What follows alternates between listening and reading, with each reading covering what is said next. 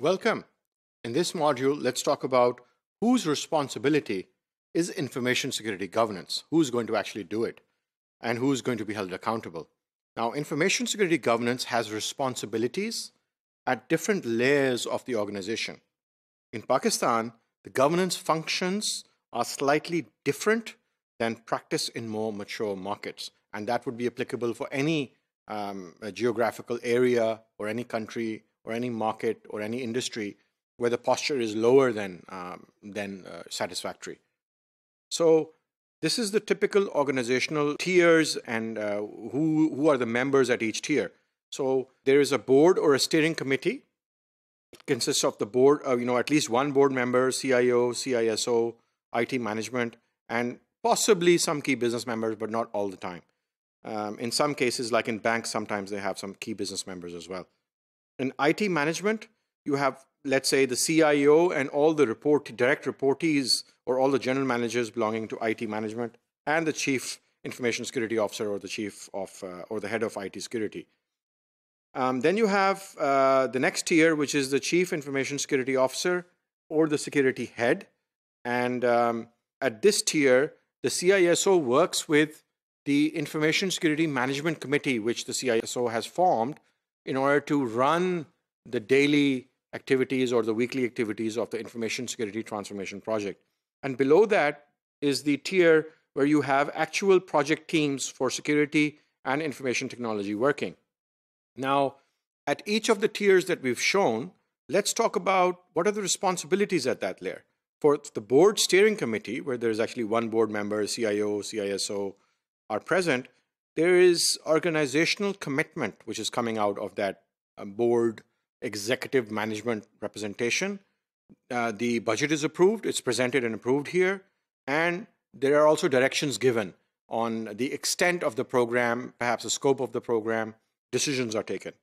And then in the next tier, one tier below the board or the steering committee tier, you have IT management, which takes the directions from the uh, steering committee or the executive management or the executive leadership. It will review the activity done uh, below for the security program. It will monitor it and it will propose backup, make proposals and recommendations up to the steering committee or to the board or to the executive leadership. And then at the CISO and security head layer, you plan, build, and run the actual program. Um, the CISO actually does that. It designs the, security program and builds it and runs it and plans it. And the IT and security teams actually implement and execute the controls and the functions. Now, based on experience with real information security transformation projects in Pakistan industry, we have set a more um, practical structure as shown in the following slides. And this structure, which we're going to show you, is more well suited to drive the security transformation projects uh, successfully, particularly for Pakistan, because this is the sort of structure we see here in uh, actuality. So the structure for security transformation projects in Pakistan or any market which is like subpar or a slightly unsatisfactory security posture, you have the board represented on the top, where you should give a quarterly report quarterly presentation. Then you have, we're, we're calling this the Information Security Steering Committee, and it's a monthly report or a presentation, and then Information Security Management Committee is where the CISO and, the, uh, and his team uh, work. Information Security Management Committee, ISMC, they work on a weekly basis, and then on a daily basis, the IT and InfoSec teams are working. So at the first layer at the bottom, you have teams. At the second layer, the CISO drives the ISMC. And then at the third layer, uh, you have IT management and CISO, which form the information security steering committee, which meets on a monthly basis. And then you have the executive management, which is consisting of at least one board member or executive management. Now, the uh, functions which are being performed are at the bottom layer, the IT and InfoSec teams are performing execution.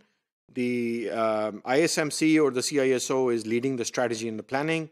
At the uh, Information Security Steering Committee layer, you have assurance and review and making sure it's all done properly and filling in gaps. And uh, the board executive leadership is demonstrating management commitment. And finally, the IT InfoSec teams are doing implementation. The functions done by the ISMC, led by the CISO, you plan, build, and run the security program.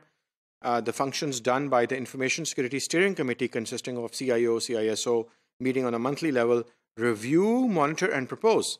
And at the board level, where you have at least one executive leadership member, board member, there is commitment, you approve the budgets, and you direct.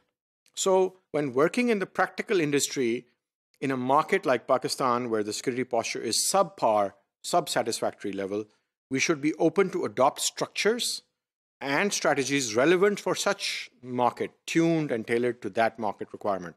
And I would like to mention here that ISACA and other frameworks which are used globally, sometimes they propose mechanisms that do not always make sense and match uh, for an unprepared or slightly immature market like ours. So you, uh, we, we should not be hesitate, hesitating to um, orchestrate or build up or, or tune our project so that we are addressing the um, fundamental realities of our market and we, we may require a tailored approach which is different from what the worldwide global frameworks ask us to do. That's all that we have in this module. Thank you.